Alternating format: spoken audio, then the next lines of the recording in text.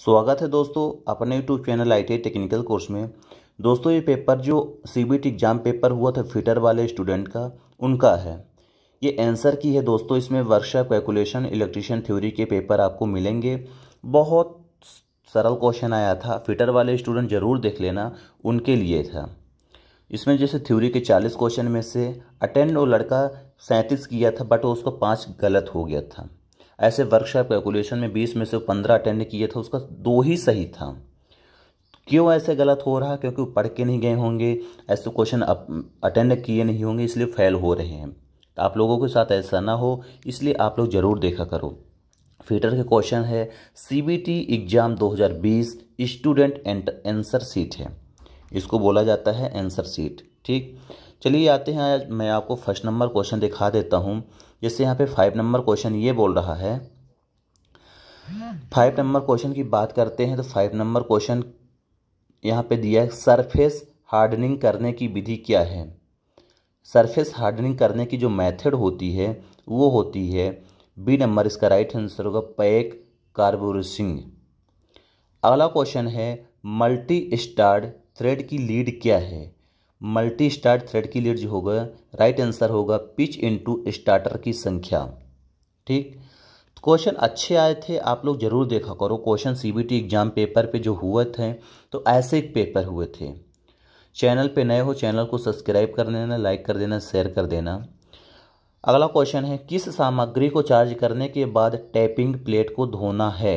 Right answer इसका B number होगा, मिट्टी तेल से। टैपिंग प्लेट को धोते हैं मिट्टी के तेल से। अगला क्वेश्चन जैसे दिया है साफ्ट के बाहरी ब्यास पर संकीर्ण साइज़ की जाँच करने के लिए गेज कौन सा है? सबको मालूम होना चाहिए, सब पढ़े होंगे, ये रिंग गेज है। अगला क्वेश्चन है, किस आकर्षक एब्रुश का उपयोग नरम इस्पात और अलाह धातुओं को लैपिंग के लिए किया जाता है? इसका जो राइट आंसर होगा, डी नंबर होगा, fused alumina. Correct answer is D number right होगा। गलत आंसर बोर्ड दिखा दे रहा, आप लोग ज़रूर देख लेना, लाल कलर से दिखा देता है। राइट आंसर इसका डी नंबर होगा, आंसर राइट दिखा, लिख रहा है। चलो, अगले क्वेश्चन की ओर यदि ध्यान दिया जाए तो अगला क्वेश्चन ये बोल रहा है कि स्टील में टेपरिंग प्रक्रिया क्यों की जाती है?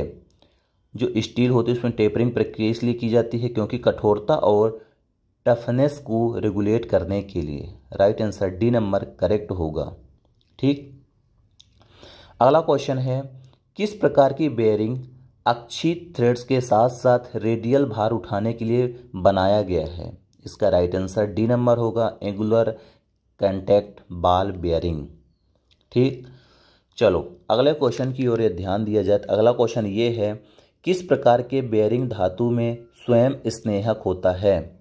इसका जो राइट आंसर होगा बी नंबर होगा sintered alloy right answer is A correct B number अगला जैसे दिया है लाइट लोडिंग और कम गति के एप्लीकेशन के लिए कौन सी बेरिंग सामग्री का उपयोग किया जाता है? राइट आंसर ए नंबर होगा कास्ट आयरन अगला क्वेश्चन जैसे दिखा है, लिखा है, इसका राइट आंसर सी नंबर होगा। और अगले क्वेश्चन की ओर चलते हैं, अगला क्वेश्चन देख लेते हैं।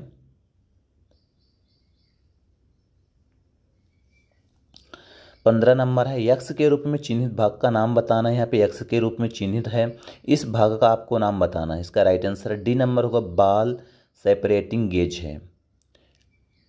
ठीक? Right answer is D number. अगला है, किस बेयरिंग की उष्मी चालकता थर्मल कंडक्टिविटी कम होती है? इसका जो राइट आंसर होगा डी नंबर होगा लेमिनेटेड फेनेलिक्स इसका जो होती कंडक्टिविटी कम होती है। अगला क्वेश्चन है, पचास एम से एक सौ पचास एम व्यास के पाइप को इकट्ठा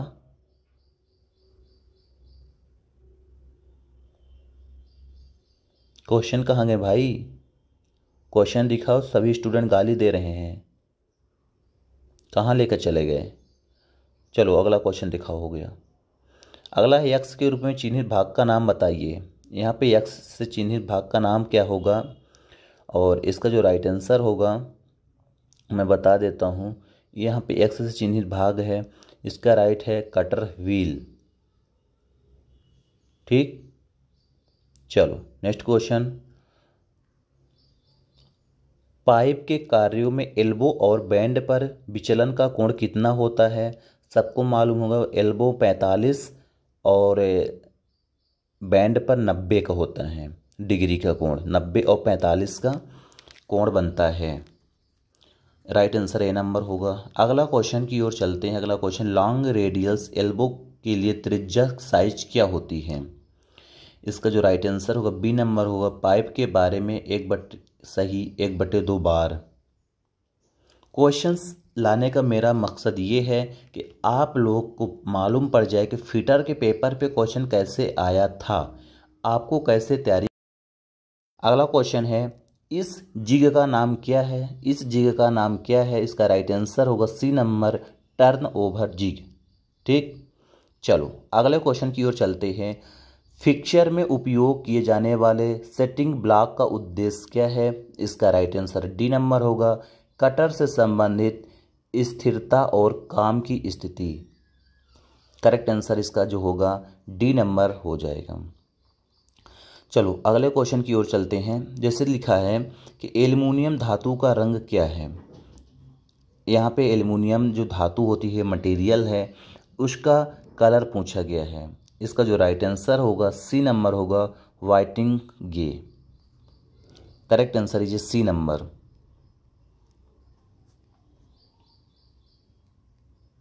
next है बेल्ट ड्राइव में यक्स के रूप में चिन्हित भाग का नाम क्या है? यहाँ पे बेल्ट बेल्ट से ड्राइव दिख रहा है और यहाँ से यक्ष के रूप में चिन्हित भी है। इसको बोलते हैं जाकी पुल्ली। जाकी पुल्ली ही इसका राइट आंसर होगा। नेक्स्ट है, कौन सा अयस्क एल्यूमिनियम का निष्कर्षक है? इसका राइट आंसर होगा बाक्साइड जो एल्यूमिनियम का निष्कर्षक है, वो होगा बाक्साइड अगला दिया है, किस अयस्क में से सीसा धातु उत्पन्न होती है? इसका राइट आंसर होगा गेलेना। गेलेना जो होती है, सीसा धातु से उत्पन्न होती है। अगला दिया है, दो मैग्नेटिक गियर पर काल्पनिक संकल कौन सा है? इसका राइट आंसर होगा पिच सर्कल अगला है हाइड्रोलिक पंप में किस ऊर्जा को परिवर्तित किया जाता है? इसका जो राइट आंसर होगा, यांत्रिक ऊर्जा को हाइड्रोलिक ऊर्जा में। नेक्स्ट दिया है, एक तरह से प्रवाह नियंत्रण बाल्ब में यक्स के रूप में चिन्हित भाग का नाम क्या है? ये एक तरह से वाल्व है, यक्स के रूप में चिन्हित जो बाल्व है, इसका नाम है थ्रटलिंग स्क्रू करेक्ट आंसर इसका ए नंबर होगा थ्रटलिंग स्क्रू जिसे अगला दिया गया है एस आई इकाई में प्रेशर की इकाई क्या होती है, सबको मालूम होंगे, पास्कल होती है। अगला क्वेश्चन जिसे दिया गया है, किस नियम में कहा जाता है कि एक तरल पर डाला गया दबाव सभी दिशाओं में समान रूप से प्रसारित होता है? इसका राइट आंसर होगा पास्कल का नियम। नेक्स्ट जैसे दिया गया है हाइड्रोलिक सिस्टम में कौन सा बाल्ब अर्फिस या रेस्क्लिक होता है? इसका राइट आंसर होगा फ्लो कंट्रोल वाल्व नेक्स्ट जिसे दिया गया है एक्स के रूप में चिन्हित प्रतीक को नाम दें। यहाँ पे यक्स से जो चिन्हित प्रतीक है, इसका नाम बताना है। इसका राइट आंसर होगा A number correct flow control valve x के रूप में चिन्हित प्रतीक का नाम क्या है, इसका राइट आंसर होगा आवृत्ति के लिए निर्धारित। राइट आंसर ये डी नंबर करेक्ट हो जाएगा। नेक्स्ट जैसे दिया गया है, गैर संरक्षक प्रभाव प्राप्त करने के लिए पानी में घुलनशीलता तेल का अनुपात क्या होता है? राइट आंसर होगा वन अनुपात बीस। अगला दिया गया है, कौन सी गुण यह बताता है कि स्नेह का तापमान डालते समय स्वतंत्रता रूप से प्रवाह करने में सक्षम है? राइट आंसर सी होगा फोर पॉइंट पैंतीस क्वेश्चन ही कराएँगे।